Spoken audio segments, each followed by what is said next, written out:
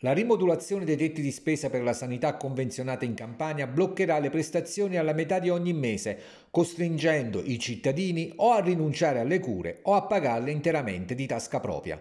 Questo quanto prefigurano le associazioni che rappresentano i circa mille centri convenzionati della regione, sulla scorta di quanto deciso dall'ente di Palazzo Santa Lucia. Già si sconta con la spending review una riduzione di finanziamenti di circa 100 milioni di euro l'anno, dice il responsabile nazionale del sindacato dei radiologi privati a Carino. E sempre in ragione della spending review non è possibile spostare sulla sanità convenzionata fondi allocati in altri capitoli.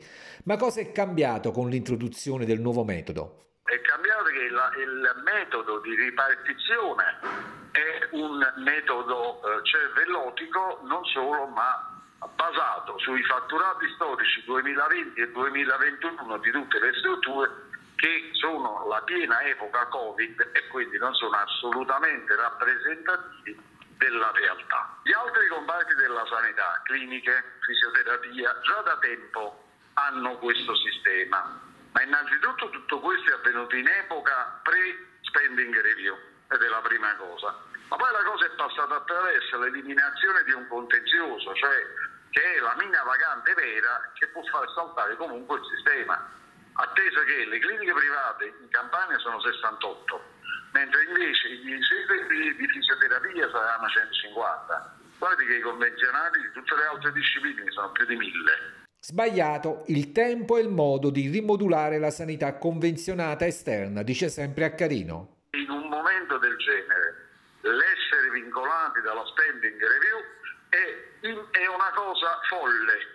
Cioè con, con il Covid sono saltati tutti gli equilibri sono ospedali chiusi perché purtroppo non è gioco forza eh, gli ospedali perché questo devi fare e non hai finanziamento, non finanzi in maniera adeguata la convenzionata esterna, che è quella che in realtà dovrebbe supplire, mi devi spiegare la gente dove devi andare. Per essere ancora più chiari, c'è il rischio che mille centri convenzionati ogni metà mese dovranno chiedere... No, no, non è, no, no, no, no non è una, un rischio, è una certezza. Arrivati a metà mese si devono fermare.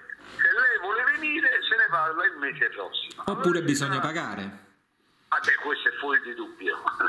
questo lo, lo davo per scontato. Purtroppo il pagante, non avendo nulla a che vedere con il sistema sanitario nazionale, può venire quando gli pare. Vi siete fatti un calcolo di quante persone rischiano di non avere diciamo, esami, eh, cure adeguate? il 50% della popolazione.